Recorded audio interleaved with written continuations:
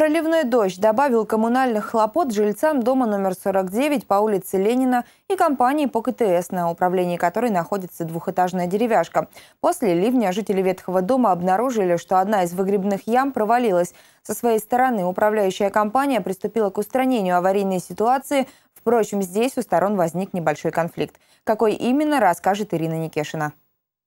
20 числа, когда был сильный проливной дождь, у нас ушли выгребные ямы. Соответственно, с 20 числа, вот вы сами видите, что у нас происходит.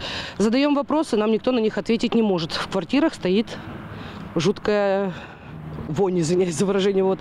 И, к сожалению, мы ничего сделать не можем, добиться не можем. Сейчас ребята привезли, стали ставить, э, получается, бетонные вот эти вот колодцы.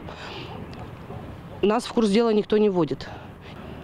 Я уже сегодня просто нормально по-человечески попросила людей, говорю, люди, дайте нам дожить уже просто спокойно в этом доме. Успокойтесь, вы что, да мы сделаем все как нужно. Вот и все, что мне говорят. По словам руководителя управляющей компании Оксаны Рочевой, выстроить конструктивный диалог не получилось и с жителями дома. При этом устранить аварийную ситуацию можно в кратчайшие сроки, но для этого необходим доступ в квартиры жильцов. Доступ в квартиры нам люди не предоставляют. Мы уже с четверга, с той недели пытаемся с ними договориться. Сегодня вечером у нас опять назначена с ними встреча уже с представителями администрации и муниципального э, казенного учреждения управления городского хозяйства города Наринмара, потому что две квартиры из четырех муниципальные.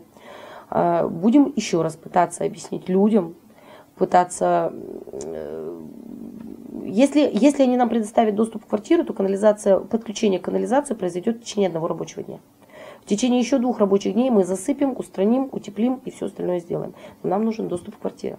Жильцы, в свою очередь, опасаются, что после такого ремонта в квартирах будет держаться запах нечистот, а зимой трубы будут замерзать. У нас э, дыры были прямого падения, поставлены унитазы. Подводить трубы невозможно никак. И вот здесь в свое время у нас вот за машинами была помойная яма, куда мы могли выносить просто даже вот, ну там суп сварили, извиняюсь, да, что-то вот помой.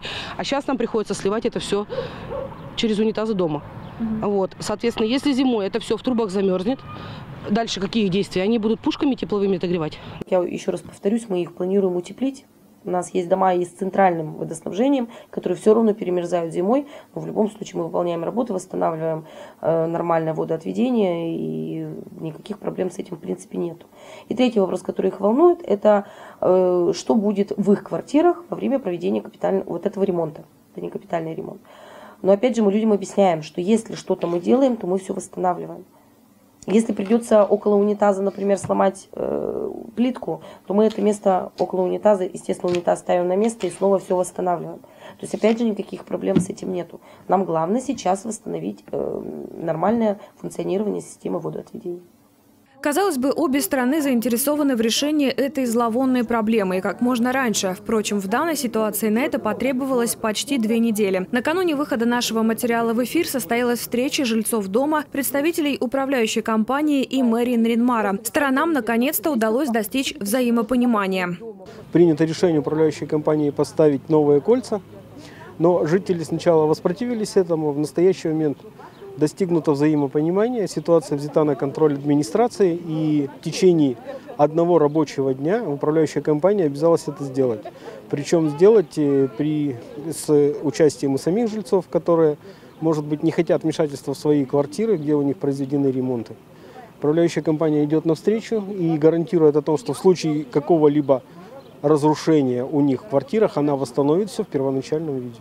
Работы будут проводиться в рамках устранения аварийной ситуации, что в свою очередь не повлияет на перенос сроков расселения данного дома на более поздний период. По состоянию на 1 июня текущего года данный дом стоит в программе по расселению до конца 2020 года. Ирина Никешна, Владислав Носкин и Влад Качев, телеканал «Север».